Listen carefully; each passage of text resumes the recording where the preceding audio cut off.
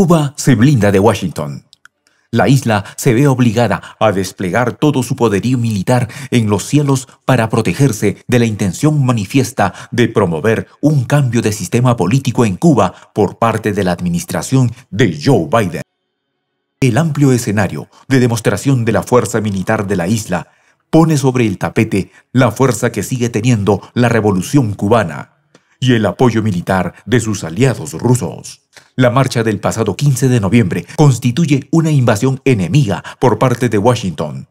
Los detalles de esta historia los conocerás a continuación. Quédate con nosotros. En prensa alternativa seguimos creciendo y para poder seguir informándote bien necesitamos los servicios de un programador que maneje lenguaje de programación Python, pero sobre todo que maneje web scrapping.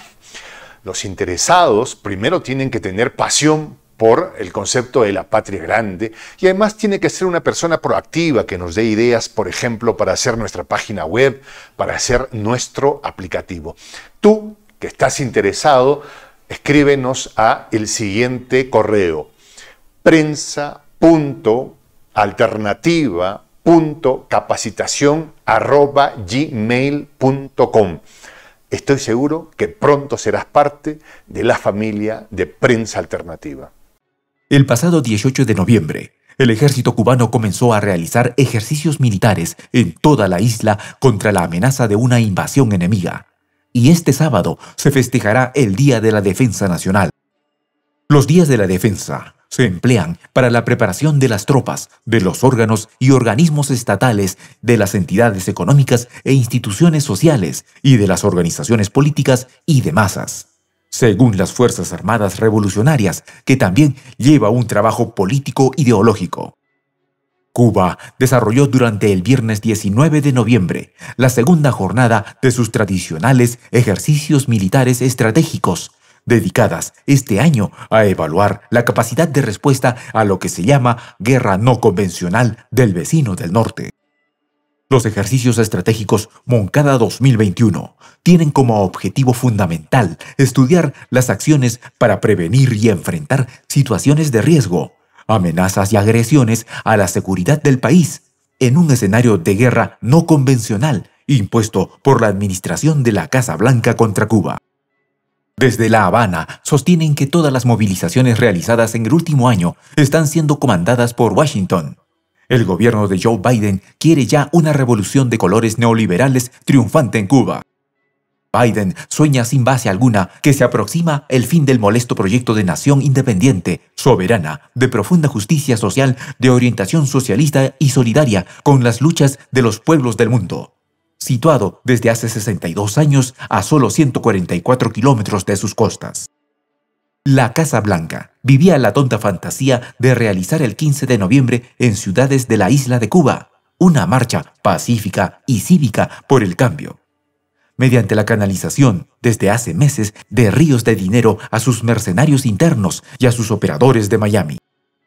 El 15 de noviembre pretendieron reeditar las protestas del 11 de julio, pero con mucha mayor violencia, y es significativo que llamen a los participantes a llevar materiales de curación. Otra vez se equivocan gravemente con la revolución de Cuba. Juegan con el fuego al seguir el guion del golpe blando, ya aplicado en países donde han habido sangrientas consecuencias o intervenciones militares directas parecen olvidar que fue en Cuba donde la invasión mercenaria de Playa Girón constituyó su primera gran derrota militar en nuestra América. En este sentido, la alta capacidad combativa cubana, mostrada por soldados y oficiales, reafirma a cualquier adversario la imposibilidad de irrumpir imprudentemente desde el cielo, ya que se defienden los cielos cubanos con las fuerzas aéreas revolucionarias del ejército occidental, por su parte, el joven teniente Michael Pozo Escalona, del Ejército Oriental, sostiene que los jóvenes cumplimos diversas tareas y misiones para salvaguardar las conquistas de nuestras revoluciones y la soberanía de nuestro cielo patrio. Los combatientes que hoy la componen llevan sobre sus hombros la responsabilidad de enfrentar al enemigo sin darle tregua, tal y como lo hicieron 60 años atrás las dotaciones de la Fuerza Aérea Revolucionaria que impidieron a los invasores de Playa Girón el dominio del aire. La fortaleza real, que distingue actualmente a las fuerzas aéreas, radica en el dominio de las cualidades combativas de los medios técnicos y el armamento mediante el uso inteligente de los mismos en un teatro de operaciones que cada uno de sus integrantes conoce como la palma de la mano. El jefe de preparación combativa, Alberto Ramón Saavedra, declara que hoy es una gran responsabilidad sostener la conquista de la revolución y contamos para ello con nuestro pueblo. Además, el ejército y fuerza aérea sostienen que en el bregar cotidiano se mantiene vigente la máxima que el armamento vale más que el hombre que la maneja y que además prima sobre todo el uso racional de la fuerza y la protección de los recursos. El hincapié que está realizando Cuba sobre la defensa del cielo patrio se trata nada más y nada menos que demostrarle a su enemigo del norte que su amplia capacidad militar está al servicio de los intereses del pueblo. Y que para La Habana, 300 jóvenes artistas frente al Ministerio de Cultura para exigir libertad de expresión forman parte de un plan diseñado y financiado desde Washington para lograr un cambio del régimen en la isla, además de ser a las claras un plan fallido. Por su parte, el miembro del secretario del Comité Central del Partido Comunista de Cuba, Polanco Fuentes, dijo que desde sus inicios era evidente que se trataba de un plan desestabilizador orquestado desde el exterior a través de operadores políticos internos con intenciones violentas, refiriéndose a las marchas opositoras. Es evidente que estamos ante un nuevo capítulo de la guerra no convencional, del golpe suave o del manual de lucha no violenta que Washington ha ejecutado durante la época contemporánea en varios países, señaló Polanco Fuentes. Yugoslavia, Libia, Siria, Ucrania, Nicaragua y Venezuela son algunos de los ejemplos donde estas acciones de guerra no convencional se han llevado adelante. Hay suficiente información doctrinal sobre la manera en que el Pentágono ha llevado a cabo estas acciones, agregó Fuentes.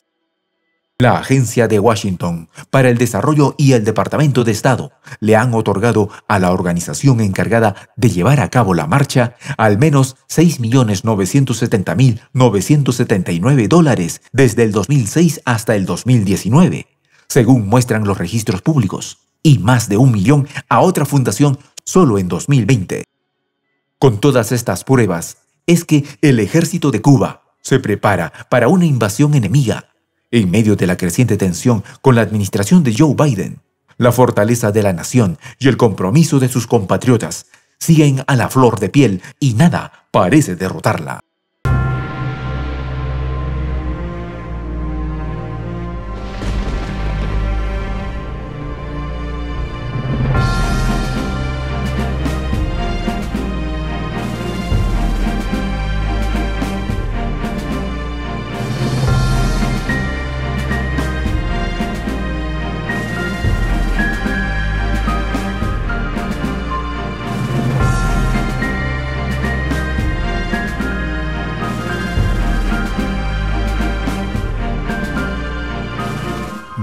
De la Patria Grande.